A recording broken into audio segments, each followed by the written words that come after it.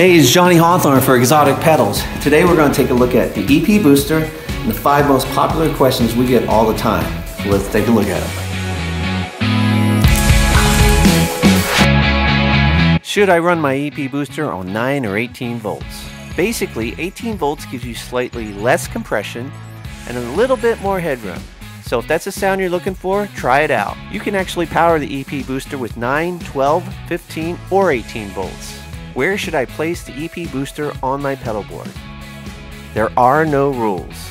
Most players tend to put their booster after the overdrive, and this will boost the tone of the overdrive pedal. However, you can do it in front of the overdrive as well. As I said, there's no rules. Can I use the EP booster in my effects loop on my amp? Yes, Many players do this and have the EP boost as their leave on pedal so it never gets turned off. Does the EP booster have a buffer? Yes. However, since the EP booster is a true bypass pedal, the buffer is off when the pedal is off.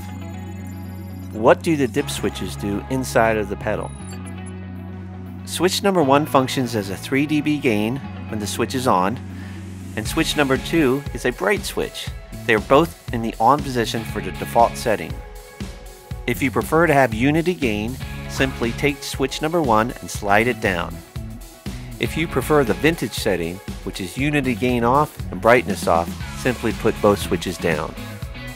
That wraps up this edition of the 5 most popular questions on the EP Booster. For more information, check out xotic.us.